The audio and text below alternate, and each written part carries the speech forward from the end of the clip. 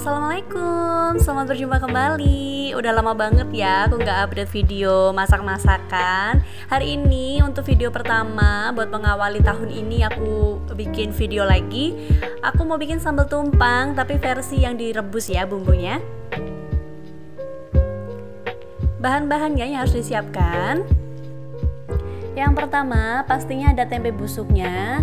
Ini aku pakai yang ada dibungkus daun dan juga dibungkus plastik tempenya ya. Kemudian ada gula, garam dan juga penyedap. Aku pakai santan instan. Kemudian bawang putih, cabai rawit dan juga cabai merah. Ini ada bawang merah, kemudian lengkuas dan juga daun jeruk ya. Oh ya, satu lagi ketinggalan, jangan lupa kasih kencur. Langkah pertama kita akan merebus terlebih dahulu tempe busuknya. Kita masukkan semuanya. Kemudian aku juga mau merebus semua bumbu tadi ya. Aku pisahin sengaja untuk merebusnya.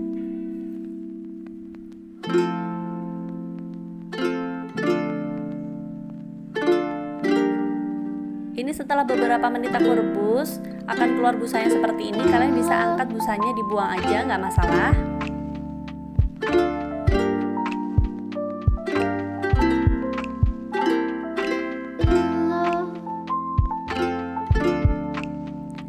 Ini aku merebusnya sekitar 15 menit. Ini untuk bumbunya sudah matang ya. Kemudian akan aku haluskan. Blender aku tambahkan kencur. Sebenarnya kencurnya sesuai selera ya inginnya lebih banyak atau lebih sedikit. Untuk tempe busuknya ini kan sudah matang ya kemudian ini aku hancurkan. Aku hancurkannya seperti ini saja agar teksturnya masih terasa gitu. Jadi aku tidak suka yang terlalu halus memang. Tapi kalau kalian suka yang lebih halus silahkan bisa diulek ya ini aku kasih daun jeruk dan juga lengkuas. Sudah aku geprek ya. Kemudian aku tambahkan bumbu halusnya yang sudah aku blender. Kita aduk merata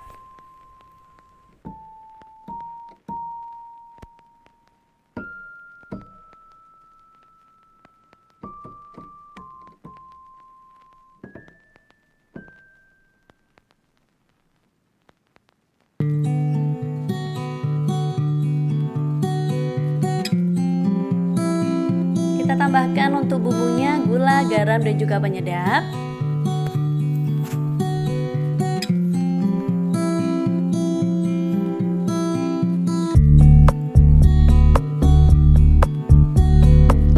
Lanjut kita tunggu sampai dia mendidih dan juga airnya surut ya. Lanjut kita berikan santan instan. Aku pakai satu bungkus ini semuanya ya.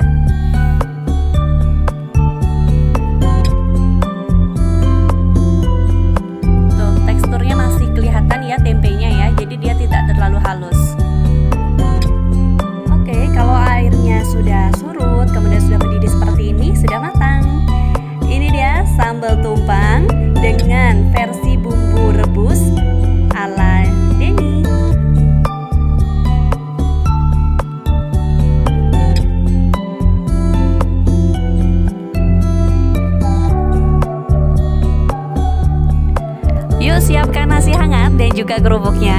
Ah, mantap bener.